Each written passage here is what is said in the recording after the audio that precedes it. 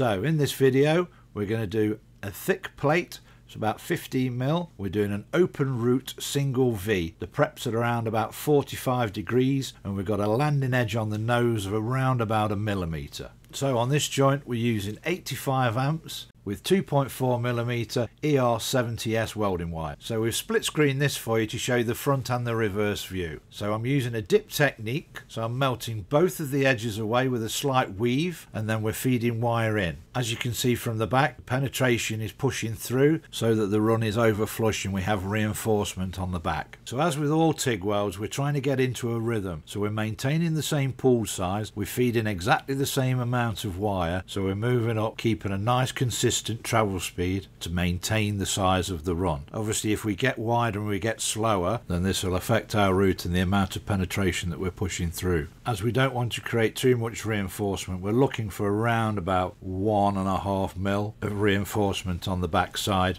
but then on certain weld procedures they may stipulate that that may be slightly different. So this is one technique. There are different techniques out there. Everybody has got a slight variation on what they actually do. But the aim is, when we've got the wire down in the bottom of the prep, is keeping it right in the bottom. If we push the wire too far back, then we potentially will be overfilling and we'll be pushing too much metal through to the other side. And if we bring the wire too far forward, then potentially we may get sucked back so the root will be under flush. So the main key is the size of your gap. As you can see here, the molten pool is fusing both sides, reinforcements coming through and we're controlling that pool nice all the way up to the end of that run. So to finish off we're going to do a little cheeky quiz. We're going to show you three roots. Let's see if you can identify the TIG root as one of the others is MIG and the other one is stick. And on screen now is our TIG welding series which is going to show you more welding techniques on various types of joints.